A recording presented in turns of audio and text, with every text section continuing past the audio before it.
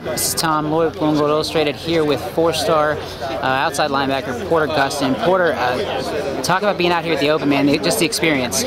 Uh, it's a great experience, uh, great exposure. As, we, as you saw, we were just um, just uh, got a got a chance to be on ESPN. So uh, um, just everything everything here is great. Got to meet some some of the best players, best players. Johnny Manziel, um, some of the, the, current players right now, and yeah, it's just a great experience and playing with with the best of the best here at the high school level. Okay, now with your recruitment, I know you've scheduled one official visit to Notre Dame. Talk about the Irish and why you want to get get up there so bad. I mean, uh, Notre Dame is definitely definitely a place that everybody wants to go to. Um, it's just great, great tra traditionally great football.